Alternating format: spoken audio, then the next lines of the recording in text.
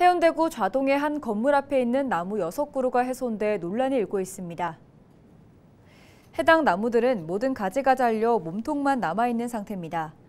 나무를 훼손한 사람은 건물주로 상가 간판과 창문을 가린다는 이유 등으로 가지치기를 한 것으로 전해졌습니다. 이 소식을 접하고 지역 환경단체가 해당 건물을 찾아 시위를 진행하기도 했습니다.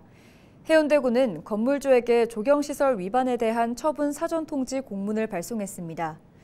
구는 해당 나무가 건물 소유주의 사유재산으로 지자체가 강제할 수 있는 권리는 없지만 건축법에 따라 조경 기준에 미달된 상태로 원상복구를 요청했다고 밝혔습니다.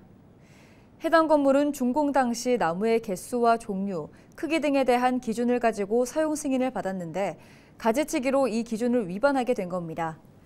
군은 건물주에게 빠른 시일 내에 조경수를 다시 심겠다는 약속을 받았다고 전했습니다.